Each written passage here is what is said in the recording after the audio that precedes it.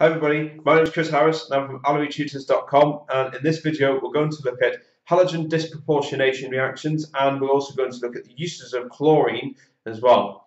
So we're going to start with looking at what disproportionation is. Disproportionation is effectively the um, simultaneous reduction and oxidation of a halogen and in this case we're going to uh, mainly focus on chlorine but it can be applied to other uh, halogens as well. So we're going to start with uh, this reaction here. So this is a reaction where we take chlorine uh, and we're going to add it to water. So we're going to push it through water. Now this reaction does undergo a disproportionation reaction and I'm going to show you why. Chlorine as a halogen is um, uh, has an oxidation state of zero um, because it's an element. But if we come over here uh, and work out the oxidation state or oxidation number of chlorine over here, um, we can see that actually oxygen um, is minus 2, uh, your hydrogen is plus 1. So that must leave, being the molecule being neutral, uh, that must mean that your chlorine is actually um, plus 1 in this state here, because we've worked out from the other ones. So that's the key one that we're going to look at there. Uh, and then the chlorine in this HCl, hydrogen is plus 1 and chlorine is minus 1. So you can see that actually what's happened here is our um, chlorine has been simultaneously oxidized there and it's also been reduced. Now if I show it here, so oops, goes the chlorine, so that means it's been reduced. But it's the same chlorine, this one here, that has been oxidized and reduced at the same time. We call that a disproportionation reaction. Now, um, if you're not sure on oxidation numbers or how to work out the oxidation states, um, there is a video that looks into that. So if you just click on the link below, uh, you can have a look at that there. But I've just put a brief summary on here, and basically oxidation is where we have an increase in oxidation number, like going from here to here, so that's oxidation, and reduction is where we have a decrease in oxidation number. Now, chlorine is obviously used in a lot of uh, a lot of different things in society. So, for example, we can use it to kill bacteria in water, as with fluoride as well. That's added in there as well. Um, it's used in swimming pools a lot, um, obviously to kill off bacteria uh, in a public bath um, and even in uh, private pools as well. And it's used to make bleach as well. I'm going to look at um, kind of all three of them really. Okay, so these two kind of come into uh, together quite closely. Small amounts of chlorine are added to water uh, and it was very useful because, especially after the cholera epidemic in London um, um, years and years ago, well over 100 years ago, and then uh, they added chlorine to water, and it found that actually adding that chlorine actually kills the bacteria and stopped a lot of the waterborne diseases that we obviously don't get for granted today.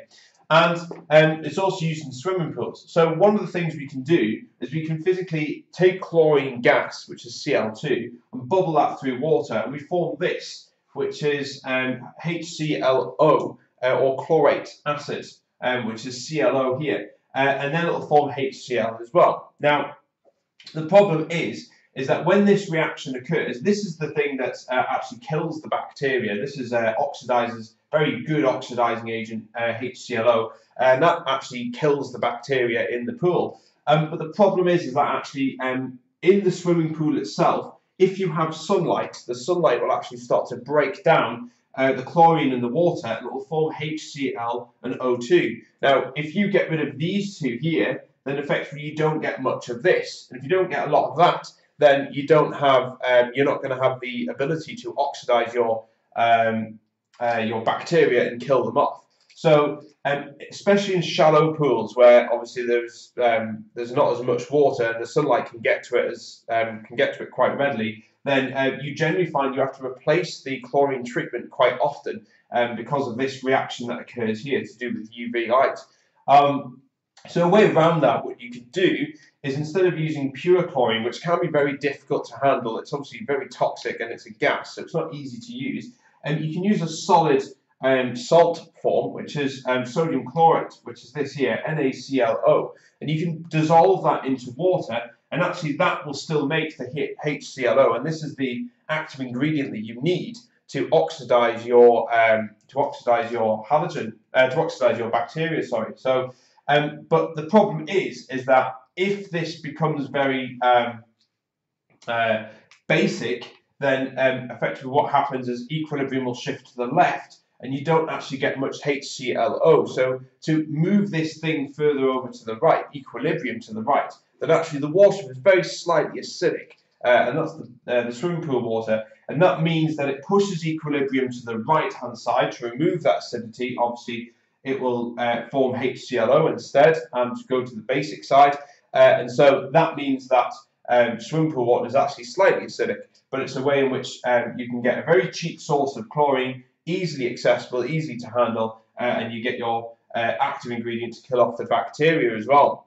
Now, um, there's one other use for it, which is used to make bleach as well, um, and this is the reaction with sodium hydroxide. So if you take chlorine gas again, uh, and you react that with um, sodium hydroxide solution, like I've written down here, actually what you make is sodium chlorate, which is this substance here.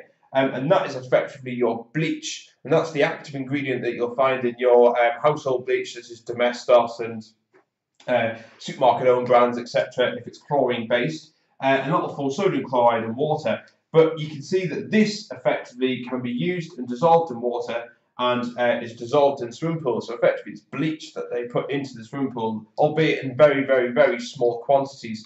Um, but that's why generally when you, if you swallow bath water, you feel this like sickly feel, uh, and your eyes normally go a bit red as well, uh, mainly because of the irritation of the small amount of bleach that's put in there. Um, but it does have its uses, and you do need to know these reactions as well and how they can be applied.